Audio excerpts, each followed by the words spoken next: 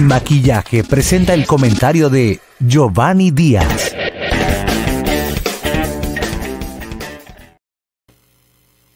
Buen, buen, buen, buen día, buen día, buen día, buena semana también hay que decir que bueno, muchos de ustedes ya se están incorporando para ir a sus trabajos. Qué bueno, qué bueno. Así que con las bendiciones que les deseamos en esta semana, vamos a iniciar nuestro comentario que eh, va en torno al cambio. Hay una, parte del cambio que ha sido robada por la incompetencia y otra parte del cambio que se nos esfuma de las manos porque eh, no hemos estado cambiando la conducta, no hemos estado cambiando la perspectiva de hacia dónde queremos ir.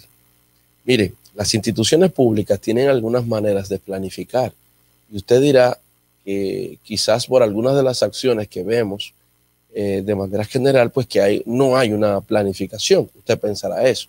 Pero es que hasta el desorden es planificado, porque el desorden también genera eh, eh, dinero, también genera distorsión, también genera comodidad.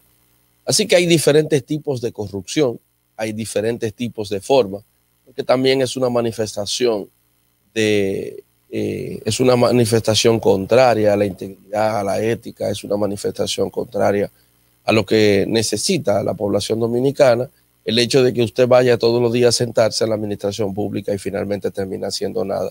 Y eso es un elemento eh, tan importante porque es un elemento dañino en el tiempo. En la actualidad, la, generalidad de la administración pública es que ha continuado con los mismos planes y los mismos programas operativos, así como los mismos, la misma planificación institucional que se había realizado desde el PLD. Por eso mucha gente dice, pero todo ha continuado igual. Se ha continuado con las mismas cosas, han continuado haciendo lo mismo. Y nosotros indicamos que existe muchas, muchas formas de, planificación. Hay una planificación que es para otro, que fue una parte de lo que, de lo que hizo el PLD y los que llegaron pues la, asumieron como tal. Hay otra planificación que es para el pueblo, que es la que se hace en conjunto con, por la consulta y por los intereses de. Y hay otra que es la planificación para mi bolsillo. Ahí están en la planificación para mi bolsillo muchas de las partes que se trabajan con el tema de las compras y contrataciones. Pero también está la ausencia de la planificación para el pueblo. Miren un elemento tangencial con esto para que me puedan entender. Los gobiernos tienen algunos elementos sustanciales sobre la base de la cual eh, proyectan la ejecución de sus acciones, muchas que están determinadas por ley, algunas que son compromisos sociales y otras que de manera incluso transversal son eh, obligaciones que están establecidas incluso en acuerdos internacionales. Entonces, las primeras eh, que pudiésemos llamarle a esas que están establecidas en acuerdos internacionales, en la ley de desarrollo del país, pues esas son políticas transversales, ¿no? Políticas transversales. Hay otras que son políticas estructurales, que son las políticas macro, y luego están los que se denominan políticas de gobierno, es decir, los planes de gobierno. Eso tienen de manera general una connotación social en términos de la política social, es la parte que es un tanto más visible, pero también es una de las partes que más copta a la población, porque la gente entiende que cuando hay una política social del gobierno, pues vamos bien.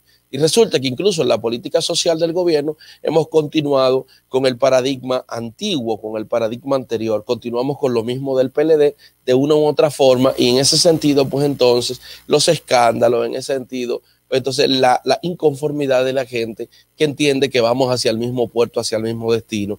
Y eso se debe precisamente en estos planes y programas, en este, estos espacios de planificación, porque si algo eh, la población ha, está, ha sido testigo junto a nosotros es en la ausencia de planes y programas que se diferencien y que por tanto entonces generen el cambio que la sociedad ha anhelado. Hay un elemento que comúnmente en estas eh, trans,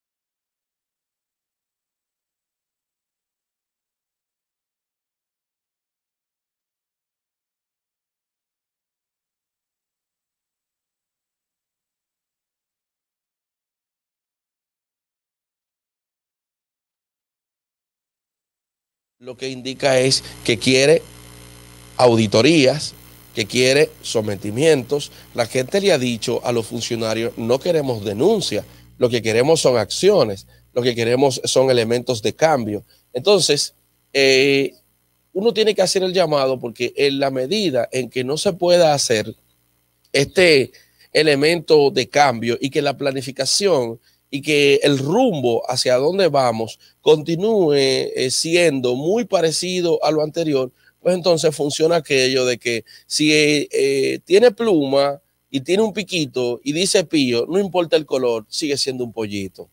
Entonces no importa que el pollito sea azul, sea blanco, sea morado, es un pollito. Pero la gente está cansada de pollito. La gente ahora lo que quiere es cualquier otra, otro alimento. Entonces, eh, esta es el primer, la primera vez que me refiero a los elementos de la planificación, porque hay una parte ahí que también es una farsa, ¿no? Porque depende para lo que se planifique. Recuérdese que había indicado que hay quien planifica para otro, hay quien planifica para el pueblo y hay quien planifica para el bolsillo. Entonces, en esa parte de la planificación del bolsillo, por ejemplo, cuando usted ve un sinnúmero de indicadores que no tienen el más mínimo, digamos así, eh, sustanciación de seguimiento en términos del cumplimiento normativo de esos indicadores porque se relajan los mismos o porque hay una evaluación automática. Entonces ahí es que usted ve, por ejemplo, las alcaldías diciendo que son las mejores en el SIGMAP, sin embargo no es lo que piensa, no es lo que cree, no es cómo se comporta y no es lo que al final el cliente de esa alcaldía, si se quiere ver así, como todo esto se quiere ver de manera eh, corporativizada, el cliente, que es el ciudadano, no se siente conforme. ¿Por qué? Porque aunque digan que el SIGMAT es el mejor, no le recogen la basura. Pero por otro lado, usted lo tiene igual con otras instituciones en las que te dicen a ti que según la planificación y según todos los indicadores del MEPI, ellos son los mejores, pero cuando tú te pones a analizar la sustanciación de esa planificación, te das cuenta que ese supuesto mejor es cumplir un sinnúmero de indicadores para que le den un bono a un empleado, por un lado. Te das cuenta, como nosotros hemos indicado acá, en múltiples ocasiones que la corrupción es un hecho planificado, en tanto desde estos mismos instrumentos ya se tiene visibilizado qué se va a comprar, qué se va a robar, qué se va a coger y qué oferente va a ganar.